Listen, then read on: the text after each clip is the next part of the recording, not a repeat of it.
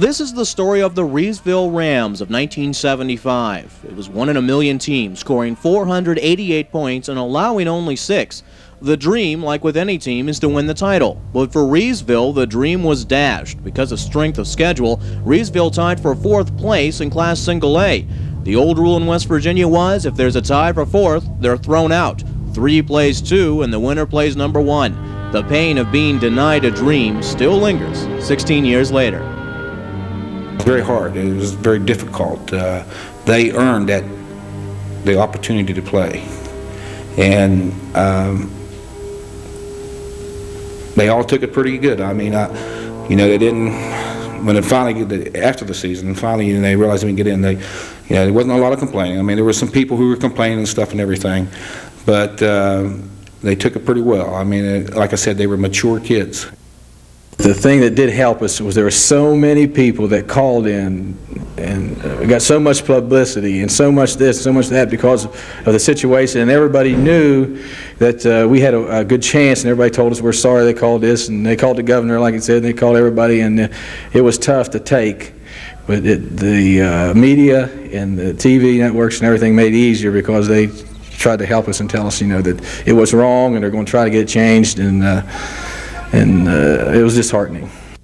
When he told us we didn't get in the playoffs, it hurt.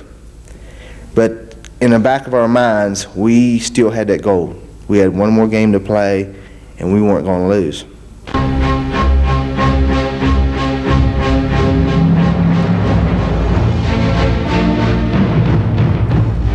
They didn't lose. The Rams ended the season with a 39-0 win over Pine Grove. In fact, on two occasions, opposing teams played what they called two six-minute quarters so they could hurry home.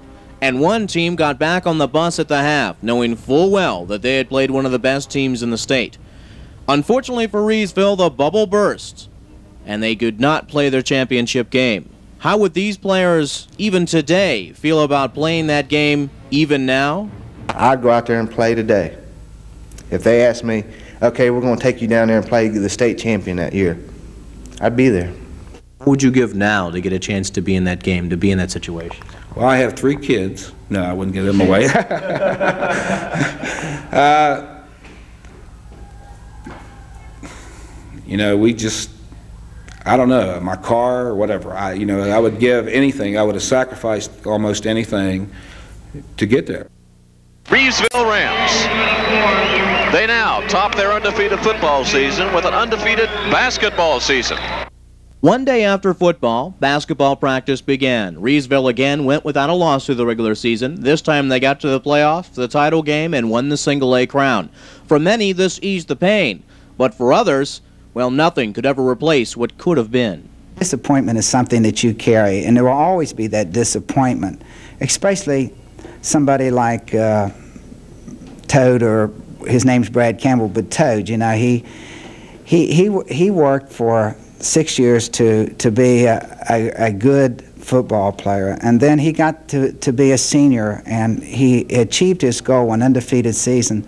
And then he didn't have the opportunity to to win that state championship. Now I I, I feel a lot of compassion and and uh, disappointment.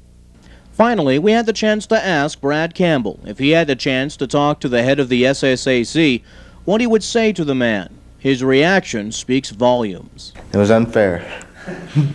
Uh, you know, it was unfair, and I don't think you took the the the situation of the kids and the coaches in, you know, in effect. I don't think you thought about how it would affect them. I thought all you thought about was the rules and how it affected you, and that was all that was important to you. You didn't worry about how it affected no one else. You know, I'm sure, I don't, I forget, I think it was Meadowbridge we tied for for fourth. I'm sure if you go down there and ask those kids, they may not be as strong to us, but they didn't get in either. They deserved a chance just one. They may have beat us. They may have been the best team. He was just as unfair to them as he was to us.